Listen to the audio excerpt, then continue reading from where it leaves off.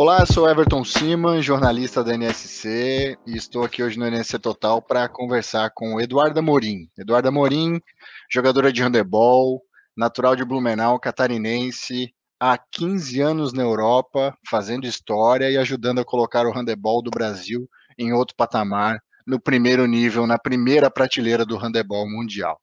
Na última semana, Eduardo Amorim foi eleita pelo Handebol Planet, um dos principais sites da modalidade no mundo. Foi eleita como a melhor jogadora de handebol da última década. Duda, o que que esse prêmio significa para você? Olha, foi, foi uma honra receber esse prêmio. É, durante a minha carreira inteira, eu sempre lutei muito para estar no topo, para chegar no topo e me manter no topo. Então, é, ser eleita a melhor da década mostra que, que eu consegui fazer isso.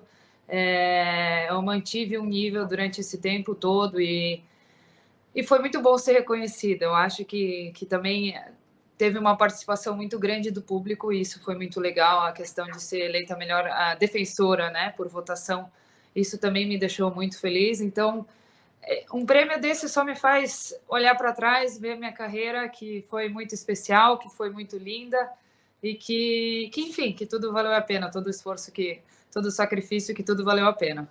Essa caminhada começou na Macedônia, né? Fala um pouquinho para quem não conhece da tua carreira, como é que a Blumenauense, filha da Dona Olivia, irmã da Ana, foi parar no Guior, que hoje, para quem não sabe, é o Real Madrid do handebol, tá? As melhores jogadoras do mundo de handebol jogam no clube onde a Duda já está há bastante tempo. Como é que foi essa história, Duda? Com 15 anos eu saí de Blumenau, fui para São Paulo e com 19 eu fui para para Europa. Então eu sempre tive esse sonho de ser atleta profissional, de, de treinar mais, de estar dentro do handebol europeu, que é o melhor do mundo.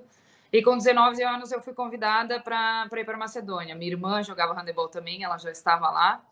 E eu recebi esse convite para fazer um teste lá e acabei ficando. Eu fiquei três anos por lá na Macedônia, na capital, em Skopje, e já tô 12 anos aqui no Győr, na Hungria. Então faz, faz tempo já que eu tô, tô quase virando europeia. Duda, é, se a gente olhar para trás, olhar ali de 2011 para 2020, a, a, década em que você foi eleita a melhor jogadora da modalidade, qual foi o seu melhor momento, na tua opinião? Hum, eu acredito que o ano que talvez que eu mais tive títulos, né? Que foi um dos melhores, foi um dos ápices da minha carreira, mas eu acho que eu atingi outros também depois disso. Mas talvez o mais especial foi em 2013, que foi onde eu ganhei a primeira Liga dos Campeões aqui pelo meu clube, e no mesmo ano eu ganhei o Mundial com o Brasil, é, onde eu fui eleita também a, a, a MVP do campeonato. Então eu acho que esse foi o ano mais condecorado, assim. Então, talvez eu, eu colocaria 2013, depois ali 2019. Agora eu também estou num bom momento, então, graças a Deus, eu, eu mantive um bom nível durante o tempo todo. Com esse prêmio agora é fácil todo mundo só olhar para para as conquistas, né? Para os títulos. Agora, na minha opinião, e eu queria saber de você, se a lesão no seu joelho esquerdo em 2015 é para você o pior momento da sua carreira? Como é que foi aquele momento para você? Então, foi um momento difícil, porque dá um choque, né? Muito grande. Eu fiquei muito tempo sem jogar, acho que são seis, sete meses é, fora, e sempre com muita dor, sempre é, com muito sacrifício. Mas eu acho que também isso me mudou como pessoa e até me tornei mais confiante depois dessa lesão, porque você, eu comecei a apreciar um pouquinho mais é, o lado extra, o lado fora do esporte. O que, que você tem acompanhado aí nos bastidores a respeito da Olimpíada de Tóquio? É, o COI disse na semana passada em um comunicado oficial que está mantido para julho, né, a nova data é, da Olimpíada para esse ano, porém tem uma pressão dos japoneses muito grande para que o evento não aconteça em função de uma nova fase é, bastante tumultuada da pandemia no Japão. O que, que você tem de informação a respeito da Olimpíada de Tóquio? É, eu, são essas informações as mesmas que, que você falou, a gente não tem é, muito mais informação interna, vamos dizer assim, mas a gente sabe que está tá rolando isso, o comitê organizador é, falando que não vai acontecer, o comitê olímpico falando que vai acontecer. A gente não tem muito controle sobre isso, a gente tem que esperar e, e ter a esperança de que vai acontecer.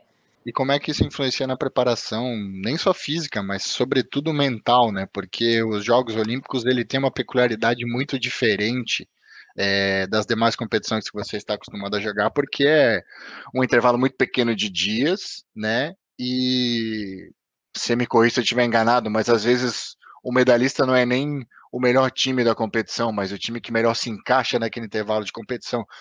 Como é que se prepara para isso nesse cenário todo, Duda?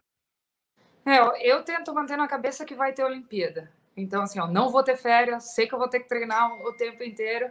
É, e a, a gente tem que se preparar da melhor maneira possível, lógico, principalmente fisicamente. Como você falou, são jogos muito difíceis, um atrás do outro. Então, a gente tem que estar preparado para tudo que, que, que vier. Eu acredito que com a seleção é um pouco difícil, porque as nossas duas últimas fases foram canceladas. É, o Comitê Olímpico cortou a comunicação com a confederação e por esse motivo a gente não pôde treinar as últimas duas fases. Então eu espero que em março a gente possa se encontrar, porque esse tempo, por mais que é uma semana, duas semanas, é valioso e a gente precisa para entrosar a equipe. A nossa equipe ainda é, não tem tanta experiência internacional, então essas fases são super importantes para a gente. Então eu espero que o próximo passo seja março e depois, é, provavelmente em junho, a gente deve ter uma fase, em julho a gente deve passar o mês inteiro junto, até a Olimpíada. Em abril do ano passado, já para quase um ano aí, você me disse naquela última oportunidade que nós conversamos que é, essa, temporada, essa temporada talvez fosse a última aí da sua carreira, tanto no Guior quanto na seleção. Tá mantida essa decisão? Vai voltar atrás e dar mais um ano? Como é que tá isso aí para tua cabeça, Duda, aos 34 anos? Vamos lá, vamos lá. É, eu acredito que a pandemia mudou muito, né? Eu já era para estar parando agora em dezembro, eu tinha até no contrato que eu poderia começar o projeto família, é, mas eu decidi seguir pelo menos até a Olimpíada. Depois da Olimpíada eu vou ver, mas a princípio é, é para ser até a Olimpíada, é, porque é muito difícil também terminar a carreira durante a pandemia. Duda, se a gente pudesse voltar no tempo, entrar numa máquina voltar no tempo e você cruzar com a pequena Eduarda lá nos corredores da Escola Barão do Rio Branco, né? E pudesse falar com ela, ela que estava na dúvida entre começar a jogar handebol ou continuar na ginástica rítmica, apesar de ser desengonçada, como você mesmo me disse. Coordenada, né? Coordenada. Se você pudesse encontrar a Eduarda que queria ser ginástica e estava na dúvida de virar jogadora de handebol, o que, que você diria para ela hoje? Bom, vamos lá. É, eu não sei o que eu falaria para Duda, mas talvez para ela continuar sonhando muito, é, que ela tem potencial, para continuar trabalhando com muita confiança e acreditar, e acreditar que vai conseguir, que vai chegar longe, que vai conquistar todos os sonhos. Então, que invista muito tempo naquilo para ser feliz.